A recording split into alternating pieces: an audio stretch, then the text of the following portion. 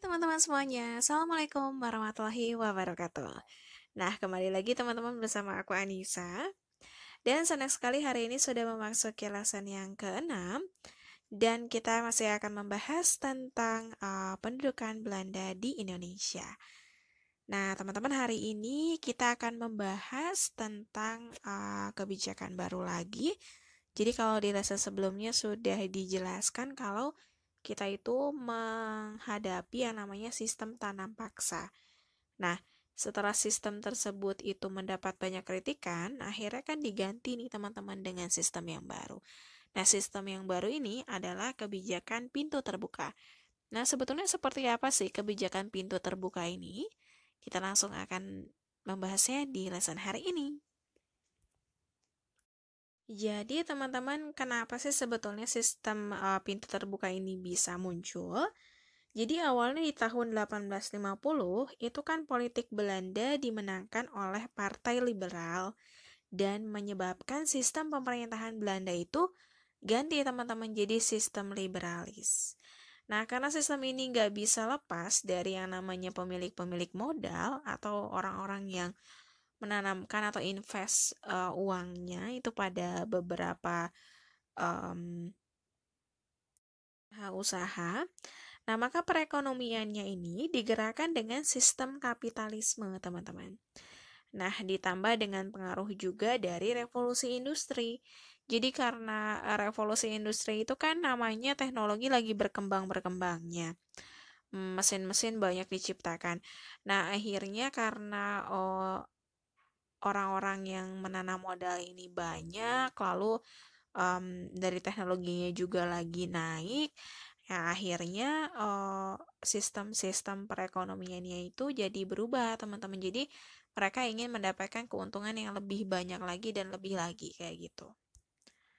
Nah, terus pada penerapannya nih teman-teman, sistem ini, jadi pabrik-pabrik yang baru nih, milik-milik swasta, itu mulai menjamur akhirnya di Indonesia pada saat uh, sistem uh, pintu terbuka ini.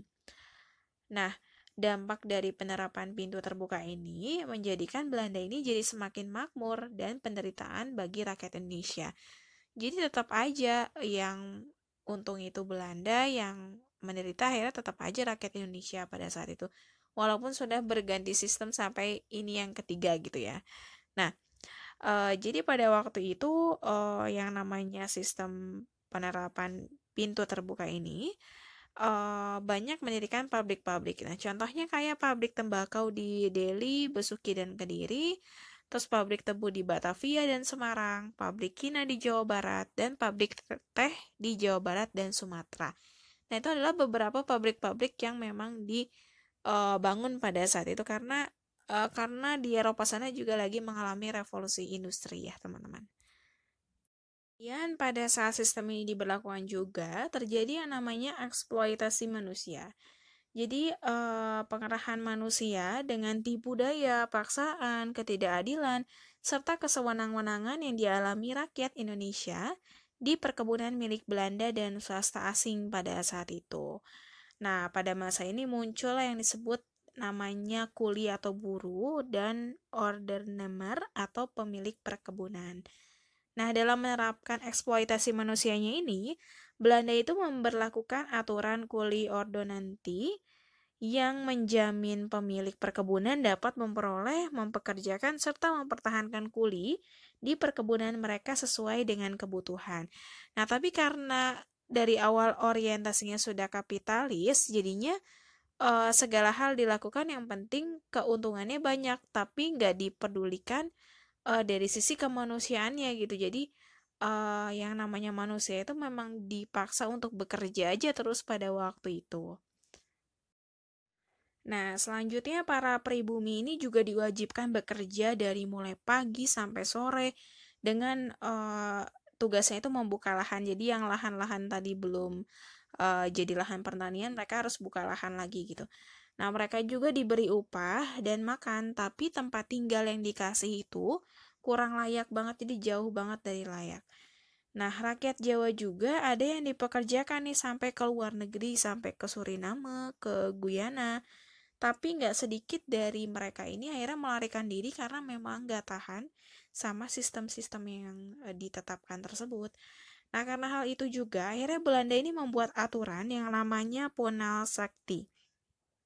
Jadi, ada hukuman bagi para pekerja yang melarikan diri di tengah pekerjaannya gitu, dan e, melarikan diri itu didenda gitu pada waktu itu.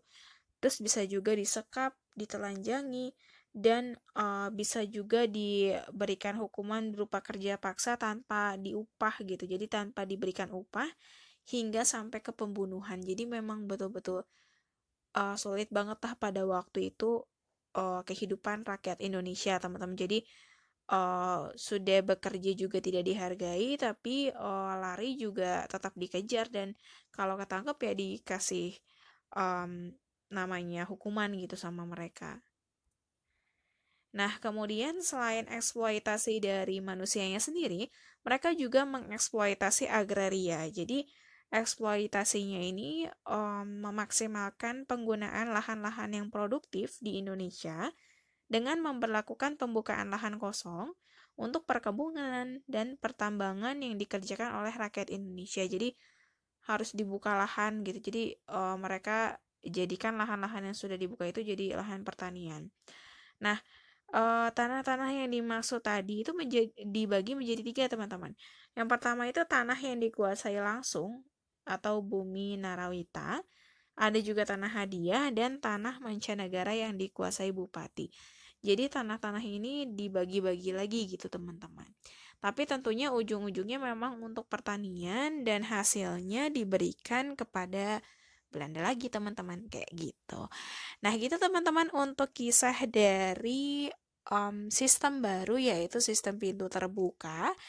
Nah bagaimana nih kelanjutannya setelah sistem terbuka ini? Apakah dibubarkan atau ada sistem baru lagi? Atau seperti apa? Nah, kita akan mengikuti rasan selanjutnya, teman-teman, untuk mengetahui kisahnya.